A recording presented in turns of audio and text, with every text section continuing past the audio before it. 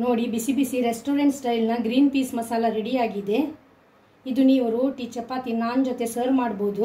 ನಮಸ್ತೆ, ನಾನು ನಿಧಿ. ನಿಧಿ ಅಡುಗೆಗೆ ನಿಮಗೆಲ್ರಿಗೂ ಸ್ವಾಗತ.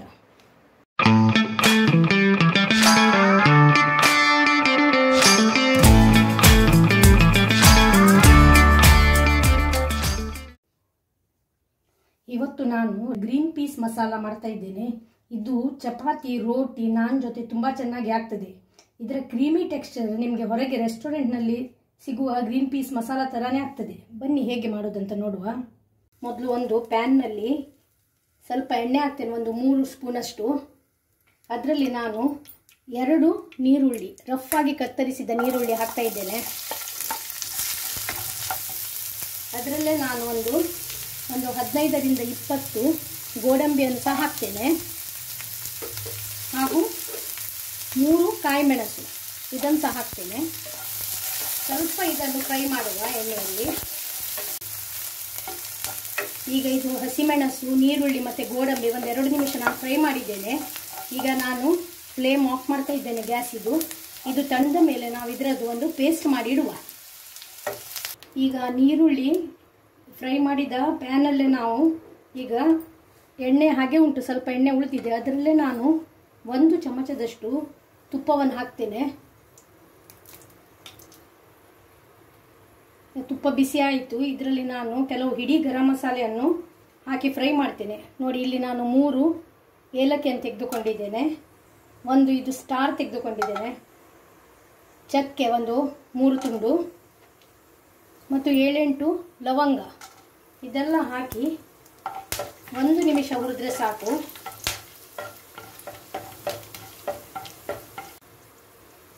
ಈಗ ಇದರಲ್ಲಿ ಸಣ್ಣದಾಗಿ ಹಚ್ಚಿಟ್ಟ ಎರಡು ನೀರುಳ್ಳಿ ಅದನ್ನು ಸಹ ಹಾಕಿ ನಾನು ಸ್ವಲ್ಪ ಫ್ರೈ ಮಾಡ್ತೇನೆ.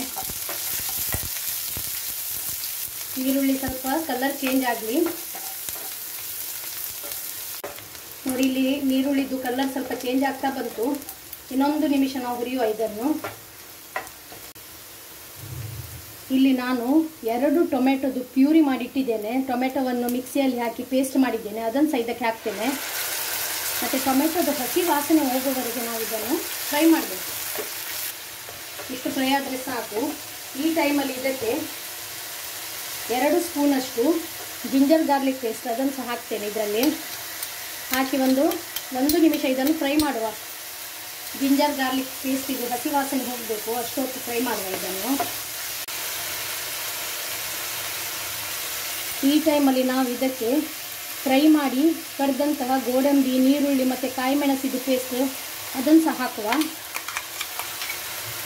ಹಾಕಿ ಇದನ್ನು ಚೆನ್ನಾಗಿ ಒಂದು ಎರಡು ಮೂರು ನಿಮಿಷ ಇದನ್ನು ಫ್ರೈ ಮಾಡಲಿಕ್ಕೆ ಉಂಟು. ಫ್ರೈ ಆಗಲಿ ಚೆನ್ನಾಗಿ. ಇಷ್ಟಾದರೆ ಸಾಕು. ಈಗ ಇದರಲ್ಲಿ ನಾವು ತೆಗೆದಿಟ್ಟ ಹಸಿ ಬಟಾಣಿಯನ್ನು ಹಾಕುವ ಇದಕ್ಕೆ.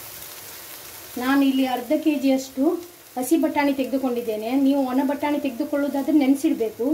ನ, ಹಸಿ ಬಟಾಣಿಯಿಂದ ಈ ಮಸಾ ಇದು ಕರಿ ತುಂಬ ಚೆನ್ನಾಗಿ ಆಗ್ತದೆ. ಹಸಿ ಬಟಾಣಿಯನ್ನು ಹಾಕಿ ಚೆನ್ನಾಗಿ ಒಂದ್ಸಲ ಇದನ್ನು ಮಿಕ್ಸ್ ಮಾಡುವ. ಈಗ ಇದಕ್ಕೆ ರುಚಿಗೆ ಬೇಕಾದಷ್ಟು ಉಪ್ಪು ಹಾಕುವ.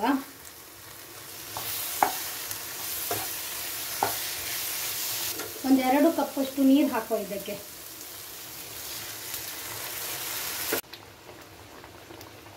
ಇದಕ್ಕೆ ನಾನು ಎರಡು ಕಪ್ಪಷ್ಟು ನೀರು ಹಾಕಿದ್ದೇನೆ. ಇದನ್ನು ಒಂದ್ಸಲ ಚೆನ್ನಾಗಿ ಮಿಕ್ಸ್ ಮಾಡಿ, ಇದನ್ನು ಮುಚ್ಚಿ ಒಂದು ಹತ್ತು ನಿಮಿಷ ನಾವು ಕುದಿಸುವ. ಹತ್ತು ನಿಮಿಷ ಆಯಿತು. ಇದು ಆಗ್ತಾ ಬಂತು, ಆಯ್ತಿದು. ಗ್ರೇವಿ ಸಹ ನೋಡಿ ತಿಕ್ಕಾಗಿದೆ. ಇದಕ್ಕೆ ನಾವು ಕ್ಯಾಶ್ಯೂ ಪೇಸ್ಟ್ ಟೊಮೆಟೊ ಪ್ಯೂರಿ ಹಾಕಿದ್ರಿಂದ ಇದಕ್ಕೆ ತೆಂಗಿನ ತುರಿ ಏನು ಅವಶ್ಯಕತೆ ಇಲ್ಲ ನೋಡಿ. ಇಷ್ಟಾದರೆ ಸಾಕು. ಈಗ ಕೊನೆಯದಾಗಿ ಇದಕ್ಕೆ ಒಂದು ಚಮಚದಷ್ಟು ಗರಂ ಮಸಾಲ ಹುಡಿ ಮತ್ತು ಸ್ವಲ್ಪ ಕಸೂರಿ ಮೇಥಿ ಒಂದು ಅರ್ಧ ಸ್ಪೂನಷ್ಟು ಸ್ವಲ್ಪ ಕೈಯಿಂದ ಹುಡಿ ಮಾಡಿ ಇದಕ್ಕೆ ಹಾಕುವ, ಮತ್ತು ಒಂದು ಸಲ ಚೆನ್ನಾಗಿ ಮಿಕ್ಸ್ ಮಾಡುವ.